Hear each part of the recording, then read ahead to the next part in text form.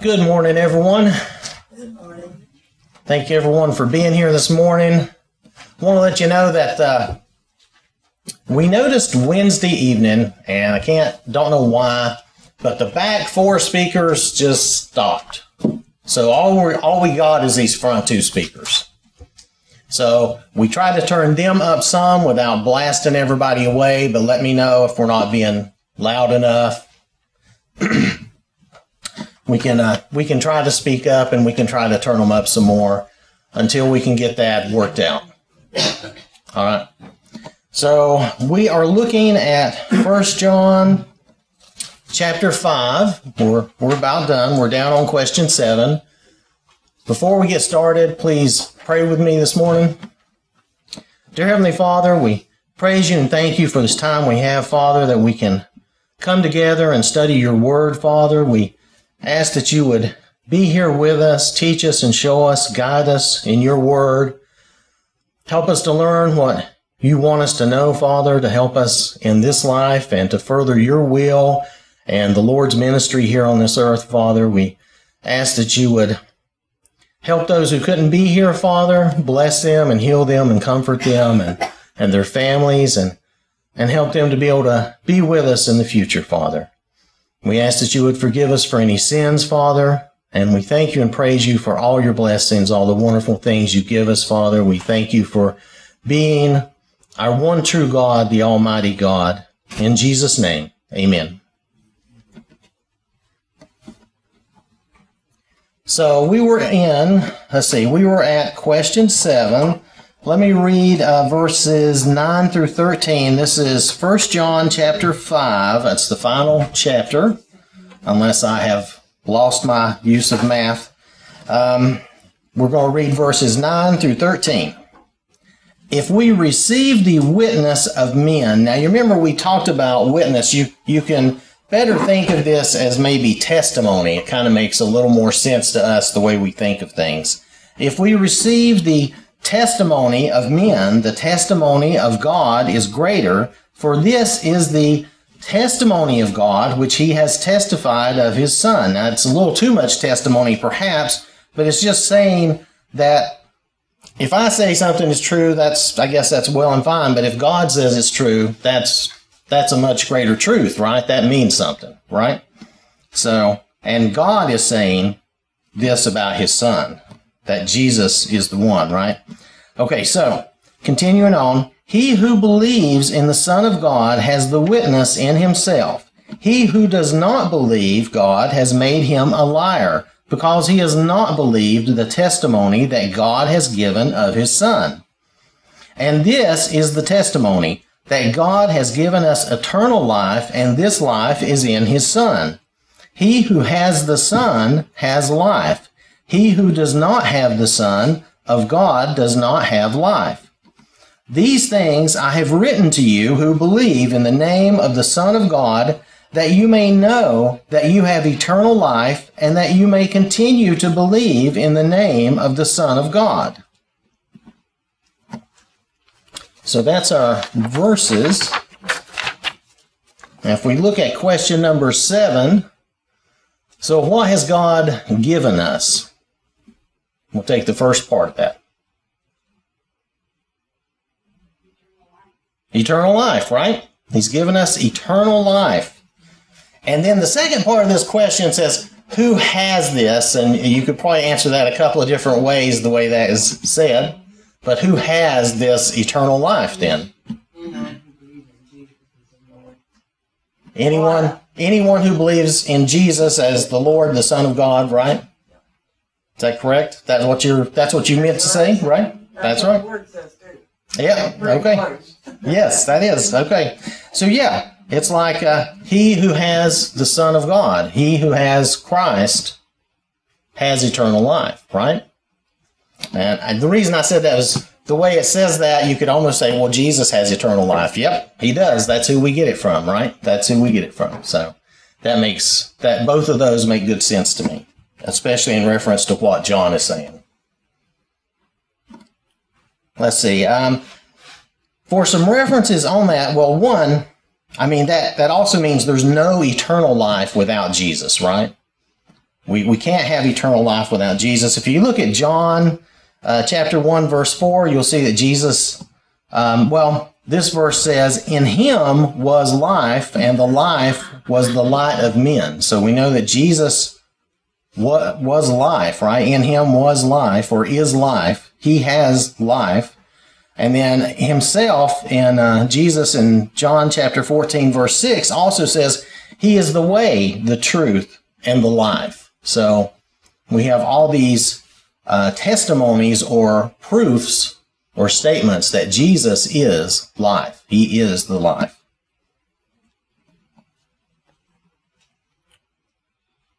So, question eight Why did John write these things in his epistle?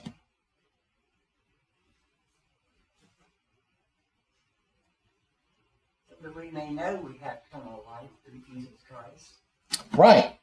He says in verse 13, right, that we might know that we have eternal life and that we would continue to believe, right? That we would continue to believe because that's important. It's one thing to know it, but you have to continue to know it. You have to continue to believe it. It's easy for us to be distracted and drawn away and to forget the things of God, unfortunately. So we have to keep reminding ourselves.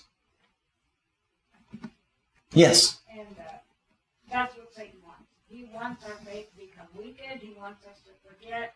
He wants us to not have that hope. He wants us feel hopeless, to feel overwhelmed, and give up. That is what Satan wants. He wants us to to be distracted, to be pulled away, to have our faith weakened, and to feel hopeless and to give up. And and that does happen to people. Unfortunately, it does happen. We want to be aware of that, be wary of that. You know, when we're tested, and we are tested by many things, whether it's our health or finances or whatever, that gets us down. That's Satan's way of trying to pull us away. Yes. But we have a better authority and a better person if we would just go to Christ. Right. Satan. Through these times. Right. When we have hard times. Yeah. When we have hard times, that's Satan trying to pull us away, right? And yet we're encouraged to redouble and to stay with God and to keep our faith, especially through those times, right? We're encouraged to especially stand and keep those times. Did you have something, Matt? Yeah, just uh, like you were just referring back to the Gospel of John. I, this is an echo I feel too. if you go back to John chapter 20, verse 31, John writes something very similar as he says here. He says, But these are written that you may believe that Jesus is the Christ, the Son of God, and that by believing you may have life in his name. The same elements of believing and life are, are uh, what he gives us reason why he's writing that gospel as well. Right. And that's in John, did you say 20? 20, verse 31. Verse 31. Yeah, he also makes a reference there to, you know, in Jesus is the life. So, yeah, that does reinforce that. Does anyone have anything else on this before we move to the next? All right. So, question nine. Oh, yeah, this is the end. I can't move it any further. I'm trying to move it. Um, what confidence do we have in prayer? Question number nine. Oh, wait. You know what? Let me read these verses here. We didn't read these verses. Uh, 1 John chapter 5, verses 14 through 17. Now this is the confidence that we have in him that if we ask anything according to his will, he hears us. And if we know that he hears us, whatever we ask, we know that we have the petitions that we have asked of him.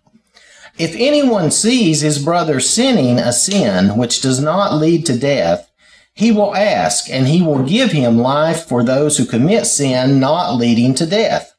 There is sin leading to death. I do not say that he should pray about that. All unrighteousness is sin, and there is sin not leading to death. All right, so that's verses uh, 14 through 17. Now, again, if we look at question 9, what confidence do we have in prayer? We know that He hears us. We know that He hears us, right? That and what? Okay, we know that He hears us, and so what else does he say about if he hears us or? Yes, Verse Matt. 15, he says, We know that we have the requests that we have asked of him. Right. If we ask according to his will, right? If we ask according to his will, then we know that we will have those petitions. That's requests. That's what we're asking of God when, even when we uh, repent and ask for forgiveness, that's a petition in a way. That's we're asking for something. Just, just to make that clear. So, all right. So we know that if we ask anything according to his will, he hears us. Now, kind of a bonus question because they didn't go into it in the book here. But we look at verses 16 and 17. There's a phrase there, sin that leads to death. So what is sin that leads to death versus sin that doesn't lead to death? But let's just focus on this first. What is sin that leads to death? I went and looked for, I'm just going to give you the obvious thing that I could find that, uh, that I've always read and understood. If we look at, there's two places you can see this. If you look in Matthew chapter 12, verses 31 and 32, Jesus is talking to the Pharisees who had been, let's see, let me see if I can say this correctly. I wrote it down they had been claiming that he was casting demons out by the power of Beelzebub, basically saying he's only doing this through the power of Satan. Okay? So, therefore, now Jesus replied to them, Therefore I say to you, every sin and blasphemy will be forgiven men, but the blasphemy against the Spirit will not be forgiven men. Anyone who speaks a word against the Son of Man, it will be forgiven him. But whoever speaks against the Holy Spirit, it will not be forgiven him, either in this age or in the age to come. Now, blasphemy, basically in this context, is slander, malicious talk. It's uh, injuring the good name of or the reputation of. It's lying and vilifying.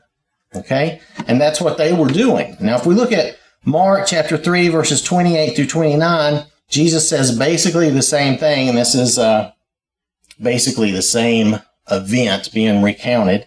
So I'm not going to read those because it's basically the same thing. He says, uh, He who blasphemes against the Holy Spirit never has forgiveness, but is subject to eternal condemnation. And again, that's in reference to the Pharisees claiming that he cast out demons by the power of Beelzebub. The problem is, their sin is they're purposefully teaching against Jesus and the Spirit, they would not follow God in this, even though they knew better. And they actively taught against God's plan and against Jesus and the Spirit and what was going on here. So that, and then they knew better. And we know they knew better because when Nicodemus comes to Jesus back in John chapter 3, verse 2, what does he say? He says, Rabbi, we know that you are a teacher come from God, for no one can do these signs that you do unless God is with him. So knowing that Jesus was from God, as many of them did, they still taught against him. They still made this claim that he was doing this by the power of Satan. So that's what I was understanding to be the sin that leads to death. Does anyone have? Yes, ma'am. This is a difficult passage as far as I'm concerned. It is. Um, it is. But another way, maybe to think about it, is you know, kind of what John has been talking out, talking about throughout the letter. Sometimes, depending on the translation you look at, you know, he who keeps on sinning, you know, we're in Christ, we do not keep on sinning.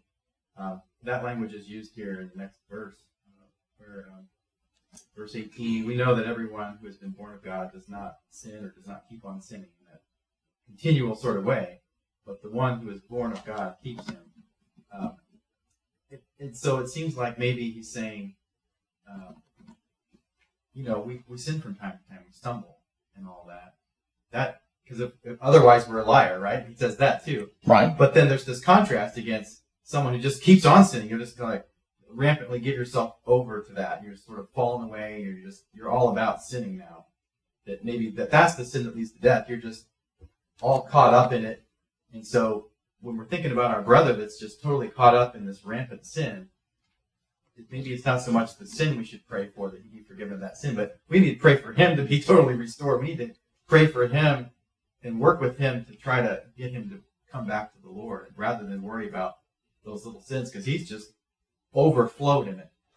That- Yeah, that's, we- that's what I, was thinking. we do need to remember always to pray for those who are caught up in sin, definitely. Uh, and I think a lot of what he's talking about when he says there is sin that does not lead to death, I think that is, I think that is what we th- would think of as the little sins that people do that they ask for forgiveness for, you know, and those types of things. Um, and I, I just, but I, I did read some on people saying that too, that basically there's sins that we're forgiven for that do not lead to death, and then there's sin that maybe we're so caught up in and we're doing, we've given ourselves over to it. Again, I think that still, as with the Pharisees, still shows a sense of rebellion against God, refusing to submit to God, and doing our own thing.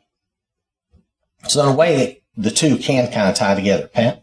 I was thinking what Matt said about not worrying about that sin so much as getting them back. And, Right. Uh, you know, you see pictures of uh, somebody lost and they're out in the water and, and somebody throws a lifeline to them to bring them back out of sin. We don't talk about how they got out there and got in that trouble that they were trying to drown. We don't know if they fell off the boat. We don't know if they swam out there too far and couldn't get back. We don't question it. All we want to do is get them back. Yeah, the first thing we need to do, that's actually a very good point. The first thing we need to do is try to save the person, right? Whatever their problem is, we can we can deal with that, but the first thing we need to do is throw them at lifeline and try to pull them back and, and save them first, right? Yeah, that makes good sense. Yes. Think about someone who's out there drowning like that and overwhelmed in that sin, my thought is that Satan deceived them and made them think, well, that water's shallow. It's okay. You can go out there. And then they went, whoa, there's where's the Yep. bottom? And they were overwhelmed in that. People get deceived and tricked into going further and further out, right? Or well you've you've heard of oceans riptides, right? They get deceived, they get themselves in a bad spot, and suddenly they're whisked out much further than they intended to go, much further than they wanted to go. And that sin sometimes is like that. It just will pull you out a lot further than you meant to go.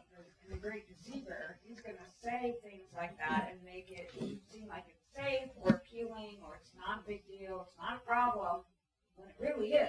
Yeah, He's going to cover up the truth of it. right. He's going to tell you, yeah, it's it's okay. It's just a little bit. It'll be all right. And then before you know it, you're way out, out in left field. Uh, does anybody else have anything on that? That was uh, that was a whole thing. I just couldn't skip those verses and not have us talk about that. Um, I think that's important. So if we look at before we uh, before we look at the next question, uh, let's look at verses 18 through 21. That's 18 through 21. We know that whoever is born of God does not sin. Now that's this translation. We'll talk about what Matt was saying because I think that's the better translation. We know that whoever is born of God does not sin, but he who has been born of God keeps himself and the wicked one does not touch him. We know that we are of God and the whole world lies under the sway of the wicked one. And we know that the Son of God has come and has given us an understanding that we may know him who is true. And we are in him who is true, in his Son, Jesus Christ. This is the true God and eternal life. Little children, keep yourselves from idols. Amen. So we'll look at question 10 first, then I have some other things. So, question 10 What is described as the true God and eternal life?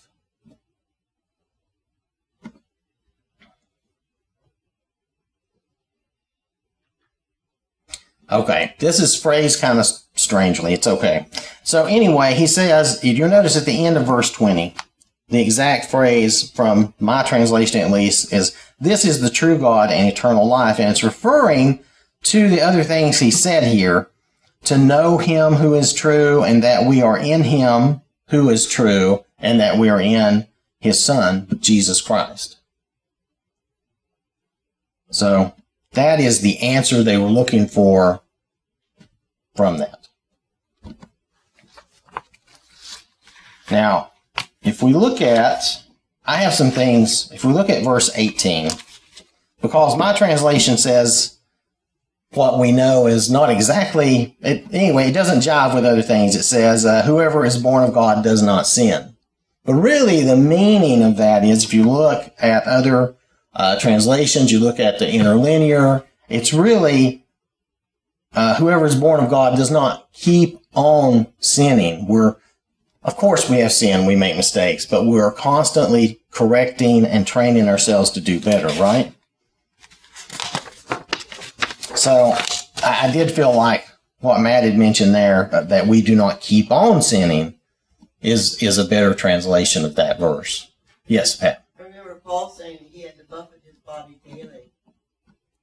Paul said he had to buffet his body daily, right? so that he would not sin. So he would not sin, right? And I, I, I take that, I took, I took that to mean that he was training himself, right? Disciplining himself, controlling himself, right? We're supposed to have self control. So I also made a note on that.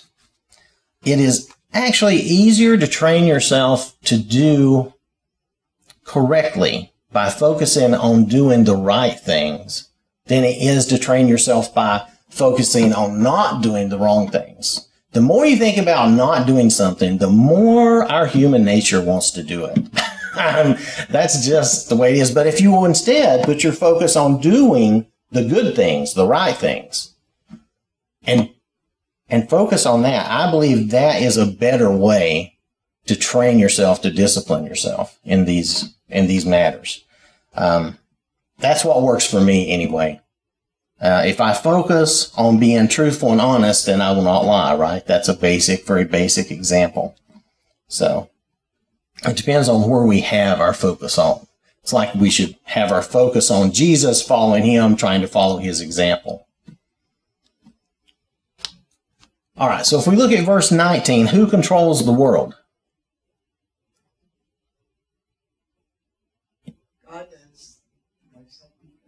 Well, uh, yeah, God controls. I- I- according to our text, right? Right. right? Right. Yeah, God actually rules everything. Yes, I agree. But but in our text, he says that uh, the evil one, right, controls the world basically, and uh, we need to remember that and stay on guard. That's why he mentions that, I believe, here towards the end. We need to make sure. There's a couple of things he says, and it's to remind us. You know, we can't trust what the world tells us, so we have to be careful, be on guard, be aware. So, and then that brings us to his last warning. What's his last warning? Yes, yourself from idols. right. Keep yourself from idols, right? It's interesting. He never mentioned idols really in the whole letter, but Uh, But all of a sudden, maybe he kind of did because like all this false teaching and all this stuff that you might get pulled away from is essentially idolatry. Right. Putting him ahead of God, putting these false teachers who are teaching all this stuff about Jesus didn't really come in the form of a man. You're making them your idols by following them. maybe they were making these false teachers idols in a way. Because even, you remember, even Paul complained saying that, you know, I'm not the one that saved you. Apollos didn't save you. You know, don't, don't put your faith in the men, you know. So even, even that was a little bit of a problem there. But, uh, but yeah, definitely to guard ourselves against idols.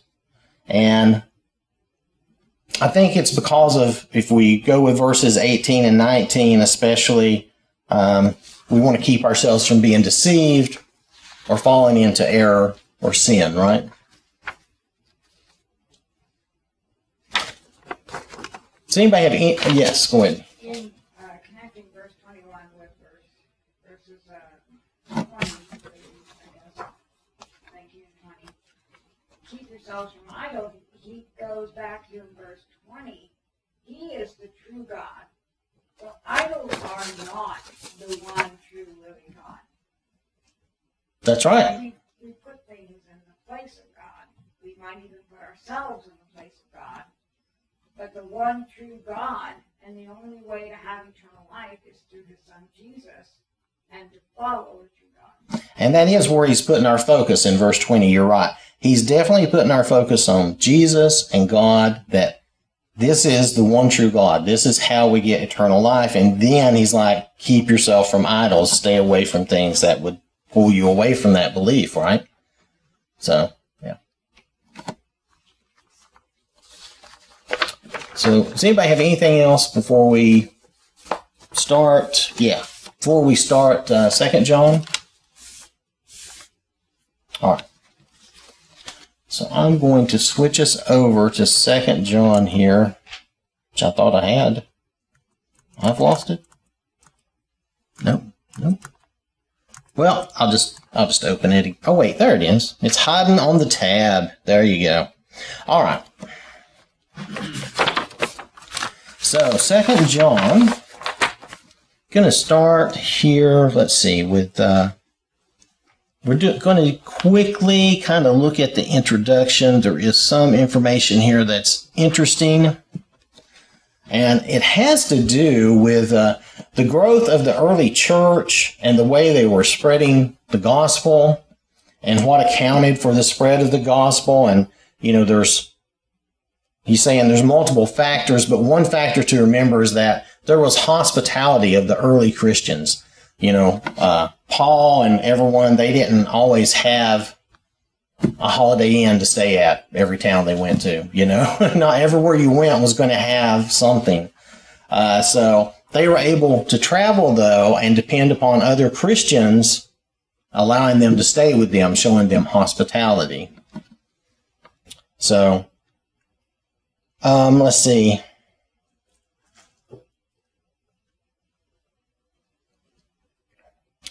And the, well, the author of this, he, he, refers to himself in the opening as the elder, and this is John. Um, I'm not going to go through the evidence of that, but they, you know, we we have good reason to believe that is John. Uh, the epistle is addressed to the elect lady and her children, which is a little different. And um, they refer to here figuratively. It could refer to a church. Um, let's see. Uh, Ephesus is uh, the location they believe John wrote this from. And they think he wrote it around 90 to 95 AD. And this is a very short letter. And it really seemed to have two purposes to encourage brotherly love and keeping the commandments of God, and to warn against supporting or encouraging false teachers. And then,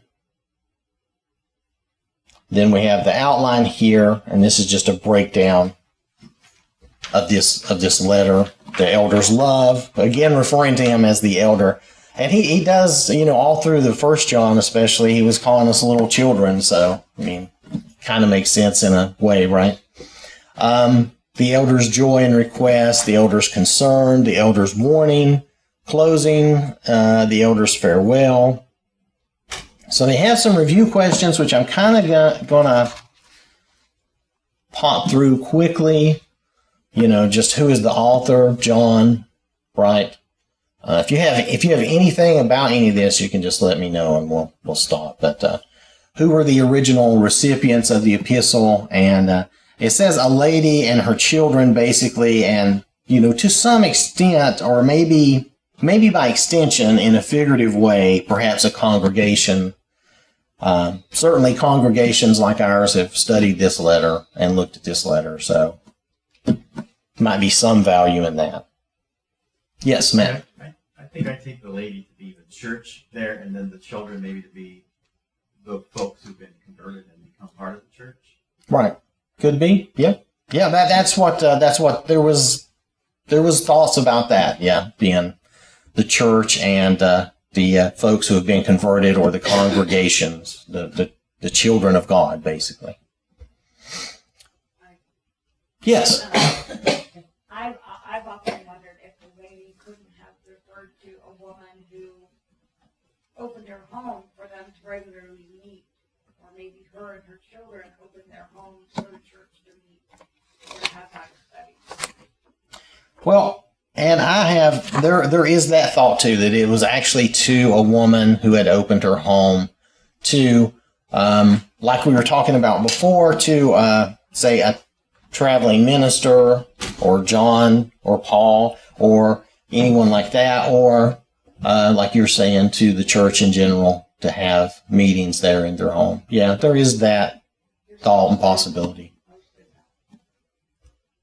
It's interesting if you if you do take it to be a, a woman, the, the lady, the, the word for that is really the feminine version of Lord, like when Jesus is called Lord so Huh. often, and, and sometimes men of prominence are, are called that word, Mhm. sort of like sir, we might say. So this is a very respectful way to refer to whether it's the church as a whole or whether it's a woman of prominence there, sort of the feminine equivalent of Lord. Yeah, that makes sense. That kind of goes with the old. If you think about the old English, right?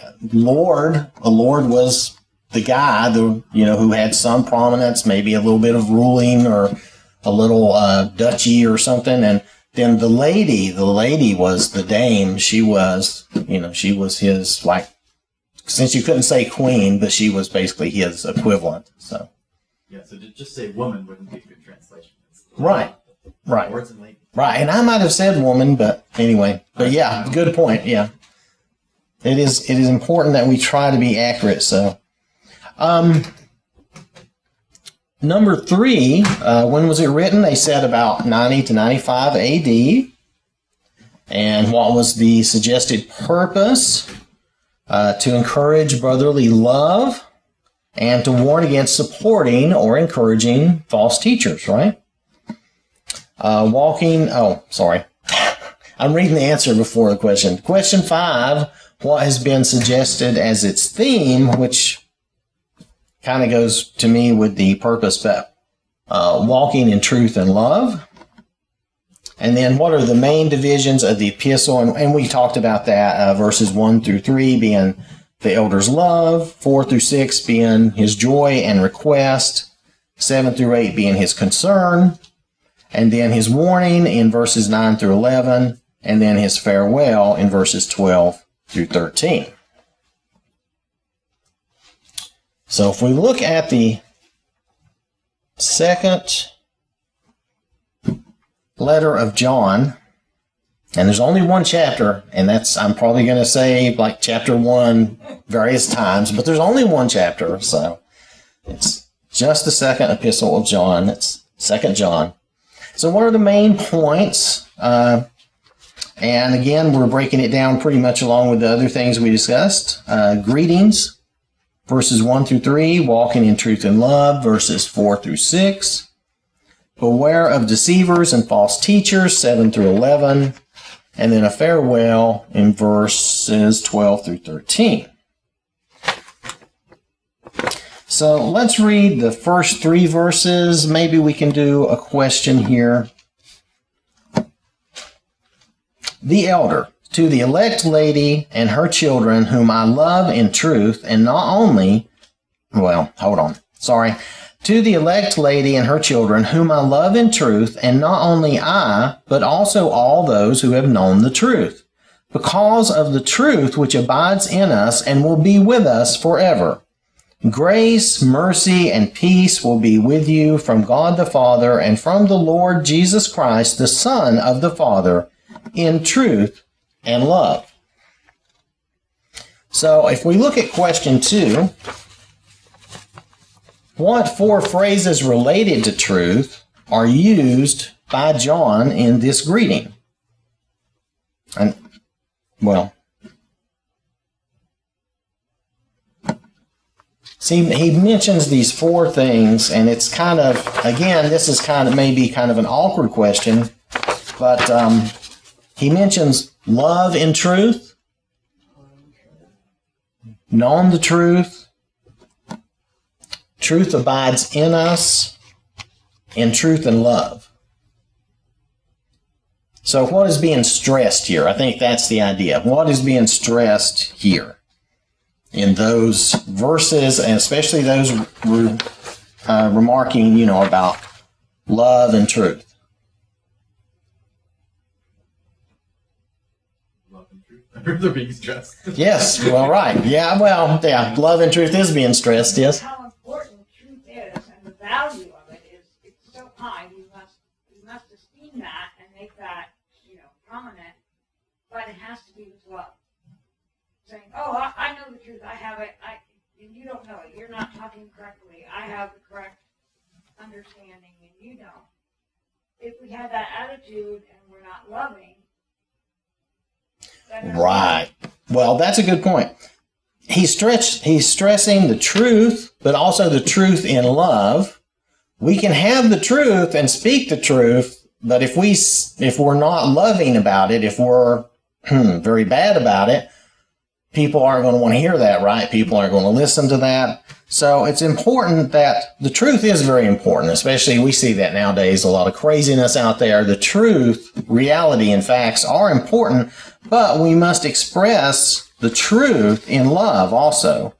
And, you know, God is truth, right? The Lord is truth, and that abides with us, and it's, it will be with us forever. Um, they will be with us forever. So it's, it's an important thing that we, we do have and recognize the truth. Yes. our society today and culture, we're just surrounded and permeated by so much negativity towards God's word and His truth. And, you know, try to share a bit of the word with someone, and it could be simply that God made both men and women in our society today, you will be attacked. You will be attacked, and they will question that truth. Right. In our society today, they don't want to accept the truth, not even real truth, scientific truth. They are more liable to say they they have their truth, and and we can't really have our truth. There is the truth, and there is reality. There is not our truth. The grass isn't purple because I say it is. It just doesn't work. That's not the way it is.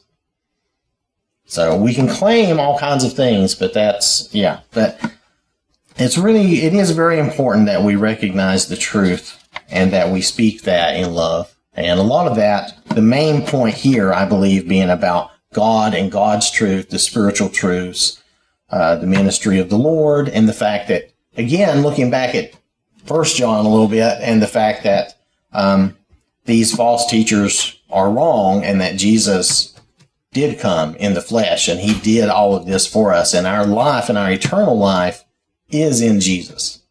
That's probably one of the most important truths. That's probably the most important truth for all of us, right?